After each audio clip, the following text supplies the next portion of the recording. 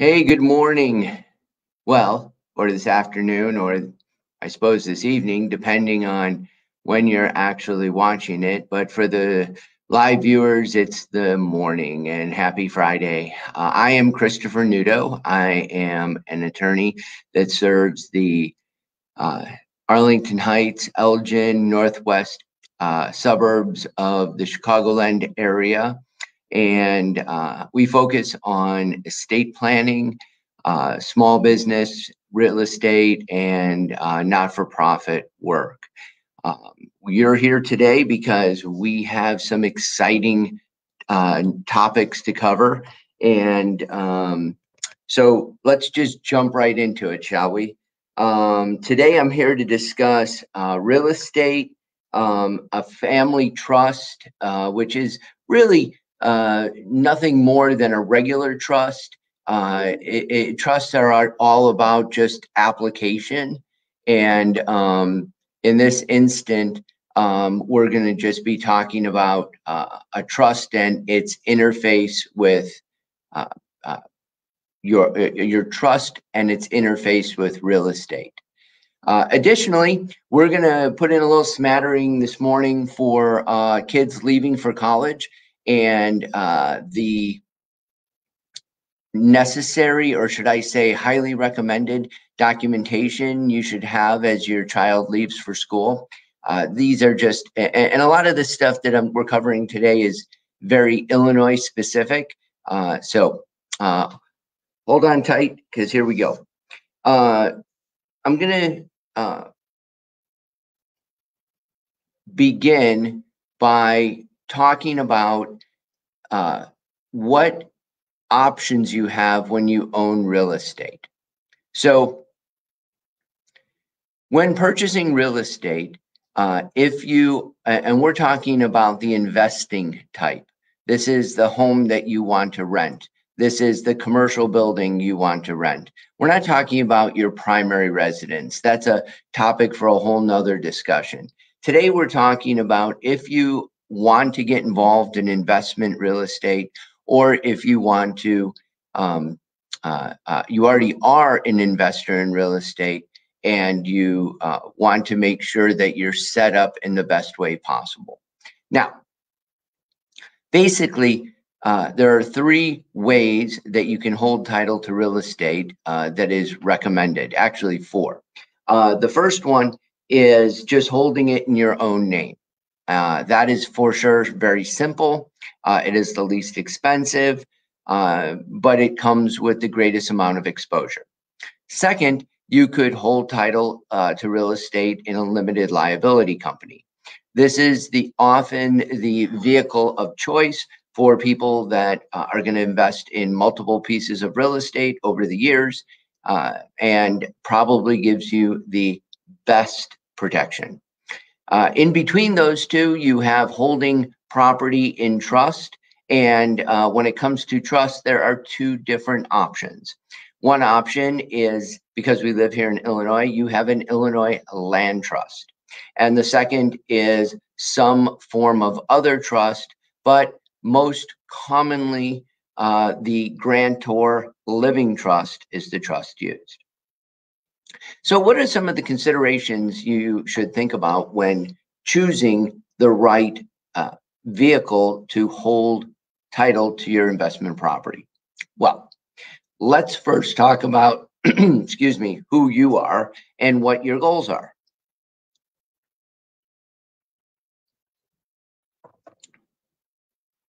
If you're just going to buy, uh, let, let's say you are um, moving into a new home. You've decided you've outgrown the home that you're currently in and you're going to buy a new home.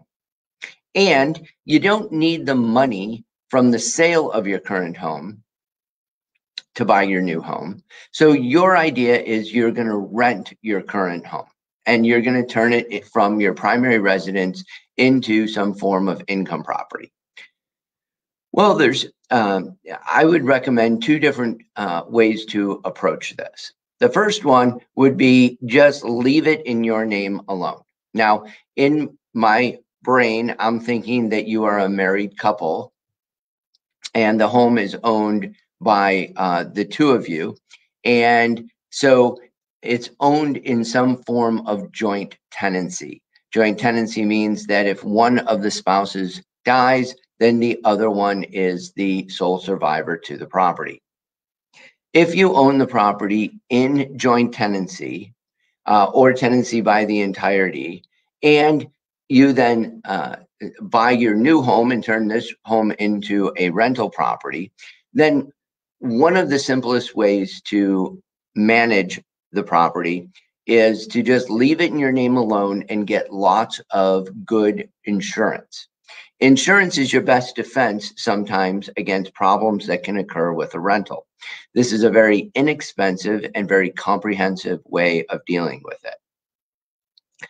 Second, if we're really concerned, not necessarily about the liability issues, but rather um, succession, if you and your spouse should die, for instance, who would own the home and how would it transfer to whomever could manage it or sell it, etc then this is where moving the property into either an Illinois land trust or some sort of grantor living trust would make a lot of sense.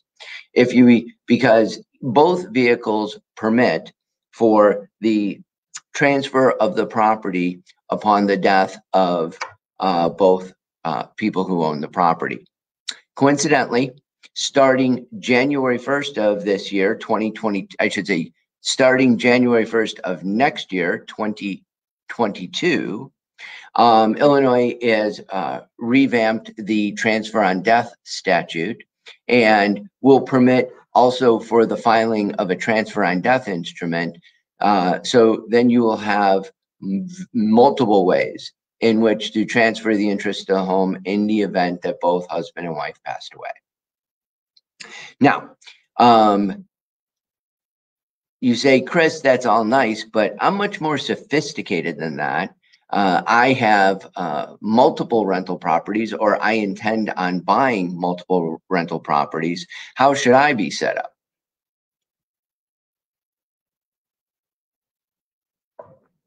Well, that is an excellent question. I'm so glad you asked. So, um, my recommendation is uh, in a perfect scenario, you create a limited liability company and you place a piece of rental real estate in that limited liability company. And you do that for each per piece of uh, investment real estate that you buy. You heard me right. One LLC per piece of real estate. So if you have six rentals, you have six LLCs. Now you may say to yourself, gosh, that seems like a lot of money in setup and maintenance and possible tax returns, et cetera, et cetera. And the point is, you're right.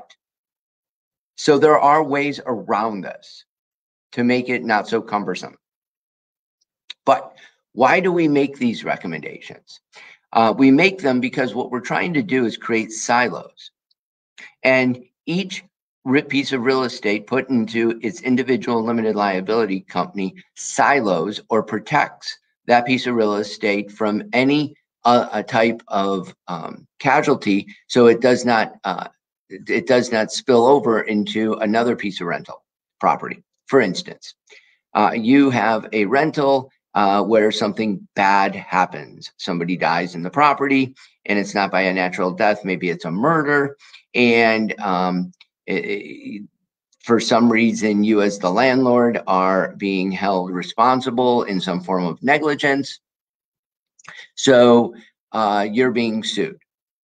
If your property is uh, siloed in its own limited liability company, then any exposure that spills over from that negligence lawsuit will not affect your other pieces of investment property. See how it is encapsulated, it is siloed uh, from the other property that you own. This includes your personal property as well is protected because the only thing that is exposed is that piece of property and the LLC that is in it. So um, I, I mentioned that, you know, uh, these items can be very complicated at times from a paperwork standpoint, management standpoint. And that's why I always recommend if you're going to be a big real estate investor, you should create your own management company. This is one company that manages several pieces of real estate.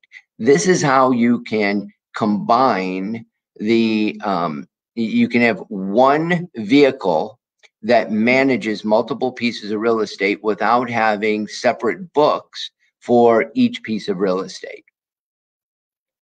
And this is how you can eliminate multiple checkbooks and there's there's there's all kinds of benefits to having a management company that manages all of your rentals. Uh, finally, uh, we had talked about trusts and uh, the fact that a trust can be used and when should I use a trust? Well, you should use a trust to manage your real estate. Number one, if you're not considered a real estate investor. So if it's just a hobby that you're doing, or like I mentioned in the beginning, it's a piece of real estate that you once lived in and now you're renting because you bought a new piece of property, I wouldn't consider you a um, professional real estate investor. It would be more of a hobby kind of thing. That's where we can use an Illinois land trust or we can use a grantor living trust uh, or uh, starting in 22, we can use a transfer on death instrument. So which of these is the right vehicle for you? Well, a lot depends. You know, one size does not fit all. So uh, a, a, land trust is a good vehicle uh, if you want to try and create some anonymity uh, uh, keeping your name out of the public record as much as possible. A uh, grantor living trust is a great vehicle if we want to take into consideration all of your other assets that you have and uh, do some uh, more extensive estate planning and keeping your properties out of probate in the event that you uh, pass away. And finally, um, uh, the transfer on death instrument Great vehicle, but again, not available until December, uh, January of 2022. All right. So if you have any further questions with regard to this topic, uh, we just skimmed the surface on it. Uh, but yeah, this is just a little uh, introduction to um, when we should consider limited liability companies, trusts, and uh, just owning property outright in your own name, and uh, the pros and cons. Now, um, one of the other topics, uh, it's kind of timely. Uh, it's uh, early August, and uh, when I'm recording this, and um, kids are getting ready to go back to college. And I strongly recommend that parents have power of attorney for healthcare and power of attorney for property uh, for their students that are heading back to school. And the reason for this is uh, uh, in the event that your student ends up with some kind of uh, severe illness or injury while at school, you want to have documentation on hand that lets the medical providers, the first responders know that you have permission to act on behalf of your child.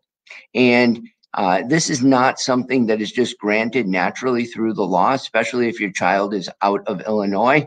Uh, this differs from state to state. So I always recommend that a parent hold a healthcare power of attorney over their child so that in the event of uh, some tragedy, um, the child, the parent has the legal authority to speak on the child's behalf.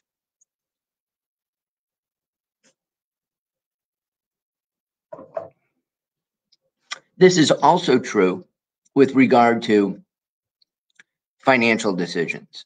So uh, if there should be an event at college which renders your child not uh, incapacitated in some sense, and you need to speak on your child's behalf, having power of attorney for property can save the day. Again, as you change state lines, as, as kids go to uh, school in other states, even here in Illinois, if the time arises where a parent needs to step up and have the authority and your child is over the age of 18, then uh, having a power of attorney for property is very, very, very important. So uh, the that's just my little uh, college tip for the day. Um, I think we have um, a couple of questions. Um, I think I'm going to do a quick uh, summary here, and then we're going to um, uh, go to questions and wrap up. It's going to be a light show today. Um, so I just wanted to let you know that a uh, couple times a month, I am here on Facebook Live sharing legal tips and guidance for parents and guardians and uh, uh, students and just about everybody um, on little things that are in my wheelhouse that I can share and help you uh, in the law. And uh, so today we talked about uh, if you're a real estate investor or just a casual real estate owner that rents property, uh, what are some of the best ways to hold title to those properties and why? And uh, we also uh, gave an encouraging tip to parents and students heading back to college and the use of powers of attorney and why parents should have them. We're going to take a few questions uh, here and then we'll wrap it up. So, um, our first question is a big one. I believe I did an entire video on this. Um, but the question is, what is the difference between a will and a living trust? And uh, in Illinois here, uh, there are myriads of differences between wills and living trusts, but anecdotally, um, why does one use one over the other? And I would tell you that living trusts are used the vast majority of time for two key reasons. Number one, they avoid probate if properly used. And number two, uh, they are aids in uh, taking full advantage of the estate tax laws here in Illinois. A will, on the other hand, is a document that we use only in instances where the estate is very small or very uncomplicated and uh, we don't have probate issues to deal with. When I analyze an estate and decide whether I'm going to recommend a will or a trust, the very first analysis I do is how many of the assets does the individual or couple own that are potentially probate assets? And then uh, the more probate assets they have, the more likely it is I'm going to recommend a trust over a will. Uh, next question that came in is uh, when someone passes away and uh, their will is read, why aren't the assets transferred then? Okay, there's two things there. First of all, the whole concept of when your will is read, um, that is a Hollywood thing. We don't actually do the reading of the will. This is not where we sit around the big table like they did in the movie Clue and read the will. Um, uh, um, uh, also, that aside, let's assume there was a reading of the will and we all thought we were on some kind of Hollywood movie set. Um, the assets are not transferred then simply because a will must be admitted to the probate court of the county in which the individual died. Once before um, assets, uh, before the executor in the will can have the authority to transfer any assets, the will must be admitted to the probate court. Um, creditors must be given six months notice in which to file a claim. And uh, then uh, at the end of that period, if uh, all creditors are satisfied, then uh, assets can be transferred. So assets cannot be transferred through a will uh, anytime uh, soon after an individual has died because of the Illinois Probate Act, which gives creditors the first six months to um, lay claim to any uh, assets in the estate. Next question. Um, who is the best person to designate as the executor of my will or the trustee of my trust? Uh, the answer is somebody who is fiscally responsible and extremely trustworthy. Simple enough. Next question. Um, can I include non-family members as beneficiaries of a trust? Yes, that's the beautiful thing about a trust and a will is that you can name just about anybody as the um, uh, benefactors of a will or a trust. Uh, this includes charities, Um, it includes uh, ministries such as churches. It includes uh, your best friend, etc., etc. So um, you can include just about anybody. Family members can be excluded, by the way, included. It doesn't matter. Everybody's treated equally. Uh, next question. How much does it cost to work with an estate planning lawyer? Well, not as much as you would think. Um, working with an estate planning lawyer is probably one of the best investments you can make because we're going to take a very holistic approach to your estate. We are going to look things over um, and we are going to recommend the appropriate tools to ensure that um, we don't use a cannon to shoot a mouse. Um, but rather we use, um, you think of the three bears, we're going to pick the porridge that is just right for you and your family. Um, and uh, so when you are done, you will have paid for the perfect uh, blend of estate planning documents for your family. Uh, that's why I always recommend that you get this done with a professional. Uh, what is the difference between working with a lawyer and doing the paperwork yourself online? Well, the difference is significant. Number one, uh, working with the right professional is going to ensure that the documents that are prepared are prepared uh, properly. Number one. Number two, that they are executed properly. Um, when doing your doing your uh, when doing your estate plan yourself, uh, do it yourself kind of kit, um, those actually are in some cases not terrible. Um, they are designed uh, uh, with a minimalist approach, um, but they uh, are not bad documents, or I haven't seen uh, a terrible document. Um, but here's where things get uh, wonky. And that is uh, a lot of times in the execution, the documents are not signed appropriately. There are a lot of necessary steps that need to be taken from uh, multiple witnesses, the amount of um, uh, language that is used for the witnesses, the um, uh, the notaries that need to be involved, and um, how everything is done in a way that perfectly um, uh, puts the documents together so that when you die, the documents uh, can be used uh, to do what you want them to do. Oftentimes, what will happen is a um, person will do their will themselves. Uh, they will not get it executed appropriately. Uh, they will die. The, the will will be of no value and then people are extremely disappointed. So I always caution do-it-yourselfers um, that there are two steps to the process. One is the drafting of the documents. Second is the formal execution of the documents. Um, next question. Um, do I offer virtual appointments or on-site visits? Yes, it's not an or, it's an and. Uh, I do uh, do uh, virtual visits, and uh, what I would say is um, these are great for people who are uh, not in their uh, who are shut shut in their home and or their schedule is such that they cannot get out. But I will tell you, face-to-face visits are the best. And uh, under uh, appropriate circumstances, I will travel to you and meet with you in your home because I truly believe the face to face visit is better than the virtual visit. But yes, all types are offered. Um, and finally, where can I contact you to set up a consultation? Well, look at that right there in the lower third of the screen. You see my telephone number, a number that you can text.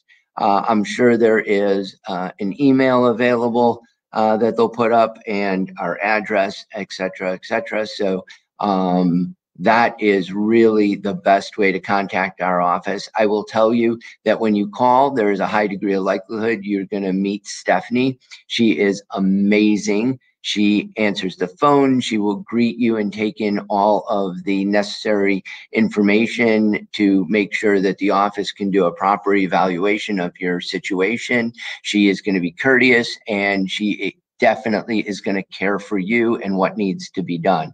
Um, once you've spent that time with Stephanie, then uh, we moved to the formal consultation, and that is our process and procedure here. So I often recommend people to contact our office simply by a phone call or a text, and you will get things started.